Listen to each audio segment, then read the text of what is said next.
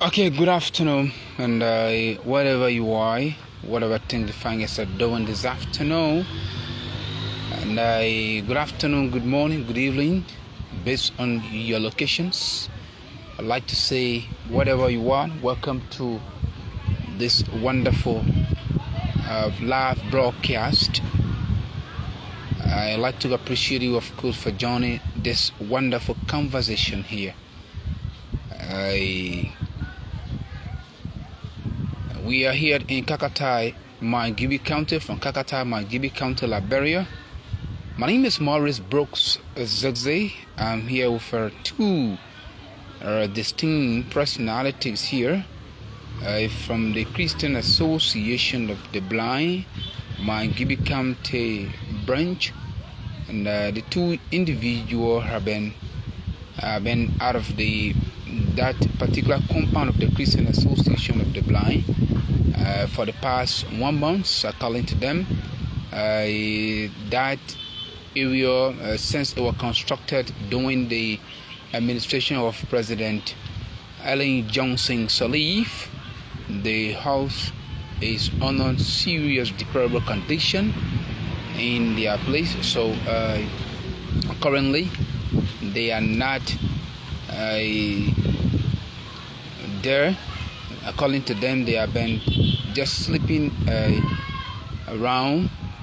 Uh, people have been feeding for them to sleep with them, but uh, they are they are seeking for assistance, uh, if at least a whole rent, so they can be able to have their own place, so they can lay their heads. Um, since the the deplorable condition of that building, the former president Kenya promised them and that they could get 25,000 of uh, US dollar. Since then, that money was not given, and uh, they was not able, of course, to uh, uh, to get that money for the rehabilitation of that hall. Uh, so, because of that, they they have to leave. They got different different segment of people. They have group of 77 and the Christian Association of the Blind. They have different different compounds. So, those compound was was a Omeko Impact project and our Omeko Impact project since uh, 2007 8 up to present uh, the hall is actually is leaking currently as we speak to you so they are out they are no longer there is is is uh, all of their schools they used to normally go to is is, is no longer working uh, we paid a visit there before and did an interview uh, for that deplorable health con- uh, condition from the from the president himself that is there, Mr. Moses Bakala. So they are here. They are asking for assistance so that they can be able to have a place at least to their heads. I just bought with them today, and I we are here. So we we will begin with I have Moses uh, Kollie here, and I also have uh, I have Moses Kollie and have uh, Romans uh, Massaquoi. Both of them are here from the Christian Association of the Blind. So we'll begin with Moses. Um, Moses, how are you, sir? Yeah, hello, hello. Um, long time, Chief. Yeah, well, we've been around because the very well our building now. We just also ready. Sometimes I can be wishing to see, but I thank God today. I hear you talking. So thank God for you. Okay, um, tell us exactly your story. Oh, brother, the story is just the same story the building, you are, you are just said it, on a desperable condition now. There's no even way for any of no way. So we just out now, we hanging around asking other people to help us. Now we sleep on the side the next day. President say, oh my brother, not gonna know it. So now as we, you put on a lamp, we appealing to everybody that up there at this morning hour on us side we appealing to them for renting at least they can come for our ill because now we are not no longer in our building now the area now leaking and we don't in our building again so we asking for help that the can help us with renting that we can able to pay our whole renting so we can find area to be sleeping. So uh, basically, uh, when you left from that particular uh, uh, building, But I left from there from January. Let's say January. So uh, the president came um, some years ago, some uh, uh, that was uh, President Weir, and came and promised you people and say he was giving you money uh, for them to do some work with it. Happened with that money? But that money, we only hear that money, but as for me, I say I lay out that money. I ain't say yeah, but yeah, up to now, I'm sitting today. That money, I'll depend on. I say if that money will come, come, I have the privilege. I find area to be renting. At least I can be carrying my son tuition inside, but nothing up to now today. today. So nothing there. Nothing. So we're under different government, and uh, uh, are they? Uh, uh, were you able to tell, or your your president are here? Were you able to talk to the current president that um, the, your area is actually leaking, or they want so they can be able to to do uh, uh, re the renovation of your building? Send the government started nowhere. Nobody come to that area said to get our even said view them. No. So all of you now currently. Uh, Uh, just the meeting and everybody on uh, looking for area. Uh, call, we're happy someone can help on and donate tomorrow. so Amen. so how you manage currently? Ah, in the in the lamb or the food building and the sleeping area, and one of the major things that in Kakatayana as a disabled person, you don't working. So just tell me, someone are visually impaired, no work for me how to sustain itself, that to find food, they have. So all those conditions are going through it, but we just depend on God to help uh, us, our brethren are up there, that honor our friends, so they can come for our help that all. So in terms of uh, uh, uh, eating, me let us go for the eating because uh, somebody can help you. They say, oh, uh, uh, my man Moses cancel here today. Oh. Uh, uh, but how about the issue of food? Because food be there not easy. Mr. Zeze, you know, in Liberia, someone will tell you, say, I will help you for the one, but the one you'll be responsible for yourself. So the president will tell you, say, come sleep here today. So if you can't sleep, you will be responsible to come sleep. If you don't have food, then it means that you're not going sleep, that you will sleep like that because the president will not take the two responsibility for your one. God now the person uh, helping with lodging, you will not say I got food or he have a children in there. So it means that when the person happy for lodging, then I mean the food business. One of the food aspect, I say sometimes take and pray, we can eat. Because we don't have anybody to help us. So like just how we living, going, going. Yeah. So uh, um, you have children? I have my son going to school now. I talking about the community wire, but no wire fee. School fees, eh, no way to get school fee. So that one of the thing again, um, sometimes when I lay down, I get sleep good, sir. About my son being So uh, currently you put now in the house. Uh, uh, and you're now to the area where the government pays for you that time, like co-impact project government pays for you for the Christian Association of the Blind, the Group of 77. Uh, so how you people managing the street? Since you left, since January. Well, since I left. January Horizon, I go on the street to beg people. Maybe I get my daily bread to go eat five or ten. And other people help me, hundred, I buy food, I go. But that one will not be able to satisfy me. But really, I need a help up there that people can come for rescue. That I'll be able to do my own thing when I get my renting. I'll be able to sell one or two things at least. Tomorrow I can be, I can move on the street. But it will not be like today I move and I go someone help me tomorrow again I go no. So Moses is uh, is from the Christian Association of the Blind. Followers would like to say whatever you are. Thank you for joining this platform. This is across Africa Media Network. We have uh, two uh, uh, individuals here from the Christian Association of the Blind. Like I said, uh, there, there, uh, there was a co-impact project that was being built by UNMIL at the time. UNMIL co-impact project. Uh, that building is currently under deplorable condition, and so the entire Christian Association of the Blind are currently, as we speak, they are, they are some of them, some family fair for them, they took them, and some of them, of course, they are in the street, and uh, uh, they're asking for government intervention. They're asking, they're asking for good ways gesture to, to see how what it, uh, what they can be to help them. So we have two other persons here today. I'll go to. Massaquoi, how are you? Welcome. Yeah, good evening to everyone, and thank you for hosting me on the platform this hour. So, Massaquoi, uh, how long you been out of uh, that that that that uh, where you people were? Yes, you and gone January, let me just say, Yeah, January, they come January, they, the building being you know, the, under deplorable condition, even where we sleep, uh, even the toilet right now, we don't even have place to even toilet, even those that are on the campus right now, there is no means because we have lots of rooms, and some of the room, they under deplorable condition, and some of some of the people there right now, our, our is there, but we are being just out, seeking for place to sleep, or there is no place.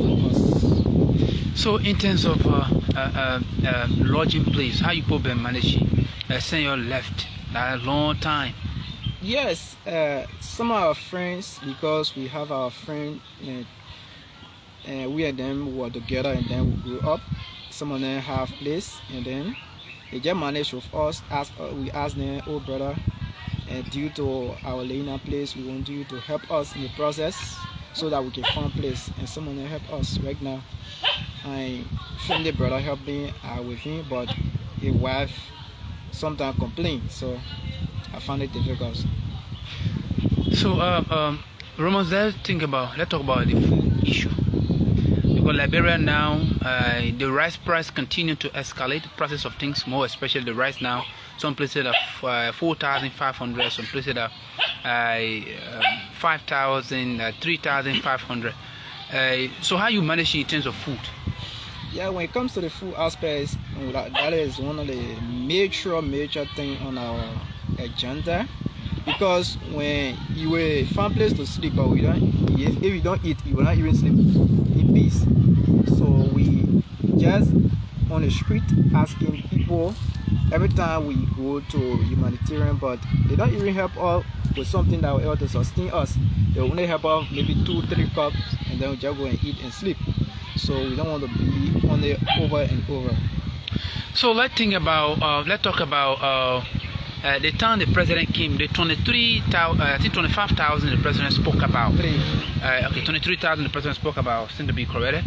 Uh, to re to do some work at your center, uh, to also do some uh, uh, renovation, uh, providing food. Uh, you do you receive that money? When it comes to the president money, I don't really speak to that because I don't really focus on polit- politician money business because the money business I don't really speak to that. Yeah. So th- th- th- that particular money was for enough for one person, but was for the Christian Association of Blind. That was the the- pronouncement that he made. We journalists who were there. Yeah, well, the money I can just say yes, the money came, but we don't know the money in and take because you know the money was politicized. Mm. Yeah, because it came under the political, uh, let me just say politi- uh, political season. Mm. So it was politicized, and then the money was just hair scatter. So no hair and there. Yeah. So currently now, uh, what are you doing? Well, I'm in school. I'm a student. I'm in Kongoro in the Navary. In the free. Yeah. Then uh, how you managing with this food? The school, uh, I only ask churches sometimes. Sunday I go to church, and then people raise money. I ask the pastor, they raise money, and then I keep that money. Sometimes I put two, 200, 400 on my thing, and then do mini business. And then to just sustain myself in the school, that's uh, but I'm paying 17,000 right now in Congo. Right now, I don't even pay half of my school fees. And then even worse, I'll be doing my work, but no way. So you you, so um the, the, there, there, there, was- there was a school at your center uh, at the time. Uh, Mm-hmm. There was a school there. So Kongoro currently they have the Christian Association of the, Blind School there. The blind. School. No, let me just little busy about the school of the blind. And in 2017, I left because when you are blind, Mm. you don't just go to integrated school. Yeah. So you will go to the blind school, Yeah. and then the blind, the blind school stopped the surgery, right? Mm. So I went Monrovia, I managed it. People helped me through my coordinator. I went there, and then I started to go to school. 2017, 18, I learned how to read and write. 2019, 2020, I graduated from there. So when you graduate, they can integrate you in the mainstream school. Okay. Yeah. So currently, I'm in the mainstream school. I'm not part of the blind school now. I Okay, in the mainstream school. Yeah. So how do you understand the mainstream school? Because sometimes I get, I get confused here. Yeah, when it comes to the mainstream school, I have uh, we when you are to the blind center, you learn how to tap on the computer. Okay. To learn how to tap on the typewriter. Yeah, to just access your note, to access the communication between you and your instructor when you are in the mainstream school. Mhm. But and when you enter in the mainstream school, I do my note and with dictation, and my instructor maybe tell me like when we're taking note, he read and then I write in my own understanding. So after doing the brewing, when you come to the test aspect and then you print out the test, when you print out the test and then read the questions and then I type it. But right now I don't have in computer, so I just doing dictation. No dictation you're doing now. Yeah, So when the, when the, when the professor when the teacher happen to come in the class, you do dictation for you, yeah, and then you, you then you take I it. write. You write. Yeah, So um, currently you are in Kongoro uh, in the ninth grade. yeah, You you going for what uh, wire this year, right? yeah, yeah. But I I never pay my wife. Yeah, You have not paid your wife fee. yeah. Uh, but but you are prepared to go for I'm with the with, 100%. with, with the regular people. Yeah. Uh, yeah. So I, I don't know how they're going to do your own the paper uh, because uh, uh, uh, you, you're not seeing the paper. So I, I don't know. Yeah, I'm not seeing the paper, but if they, they get the questionnaire to me, Uh, uh, they have someone that maybe the the plotter, yeah, the or- plotter. Yeah, he will come and then read my questions, and then I'll answer. If the I have a typing machine, to understand. Yeah, uh, we actually help me to understand as to how uh, the, the those living with disability can be able to uh, to do national exam. Uh, so, uh, um, um, currently now is somebody who is watching you, uh, who is looking at you guys and wanting to say, "Oh, I want to help uh, the two individual." Uh, precisely, what could be your priorities? uh, my priority right now is the rentage Okay. and then our full aspect. If someone can help us with even one year rentage, and then and then maybe every month maybe send us fifty dollars, someone will help us, we can sustain ourselves, or even help our business because we can do business as well. What about business you can do? Right now I do transfer business, mon- mobile money. So when I come out number, you to call, you to send me money now. I can send you money too. and you're not seeing the place, so how you be sending the money now? Oh, you know the code. okay. So they only leave with me to dial the code and then put your number in. Hmm. When I 10 minutes, I know the 10 minute code and then do the transfer. We have a lot of street boys, and uh, uh, uh, some of us are not good. Uh, when we you you ask me fifty dollar money, and uh, and I get you ask I ask for fifty dollars, then I decide to give you uh, ten dollars or twenty dollars. How do you know? How do you know that? Mm, yeah, basically I don't sell on the street, like passing on the street, right? Mm. Maybe like I have uh, my brother shop, then I will just go and pull my mega food to the shop and then be breaking there. Yes, so he will be he will be able to help you. help me in the process. Somebody coming by, I tell him how much is this? He will pour the money into me because we have our brother on the street too selling different different market. So we can beg them and then sit out the market for their table. All right. Yeah. So it's on the um, Across Africa Media Network. I would like to say good evening and, uh, and good afternoon, good morning, wherever you are. I'd like to, of course, appreciate all of you for joining this conversation here. Uh, on this day, we are talking to uh, two uh, individuals, of course, from the Christian Association of the Blind, uh, Brother Romans uh, Massaquoi and Moses Kollie. The both of them are, are actually seeking for an assistance, uh, more especially in the areas of their rent. They have been out for a couple of months now, uh, out of the building, and that building was, like I said, was constructed by the uh, um, UNMIL Koi Impact Project. At the time, UNMIL spent 12 years uh, doing the presidency of um, Madam Ellen Johnson Sirleaf. And that was a Koi Impact Project. That was in the first term of Ellen Johnson Sirleaf. Since then, uh, uh, no one have thought of the Christian Association of Blind in terms of uh, providing um, assistance for them there uh, because the thing is uh, 12 years, another six years. You just you just name it. Uh, that that have been a very long year now. I've been a very low here. So uh, the horse is actually down. Uh, majority of them have flee from the place. Some of them are in the street. And across Africa, just caught up with the two individuals today. So we are talking to them this afternoon. Uh, so their priorities is they are asking for a horse rent, uh, humanitarian organization, whatever the view will be, you can help out to share it, whatever it goes. Of course, uh, uh, those humanitarians who will think about this individual can be what to assist them here um, through this and across Africa Media Network. Uh, so, uh, Moses, uh, is there any other thing you want to talk about before we go? Well, the only thing I want to talk about, what I was telling you concerning about our help and our food really very needed. I don't think on our agenda now, now, we see.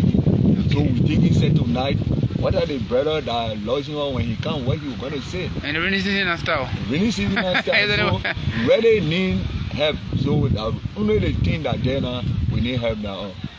Okay. We need help. Finally, from you, Chief. Yes, firstly, I was let to say thank you so much for helping us in this process, and we hope and pray that uh, we see your success beyond the interview. Yes, yeah. Finally, for my end is that this rentage issue because as the, uh, for me, I in school, so it really really worry me. Sometimes I don't even go to school. I'm thinking even tomorrow because the place my school I and then where I uh, found a place, the place too far. Even to walk in the morning to go to school is another process. So I really want somebody to help us.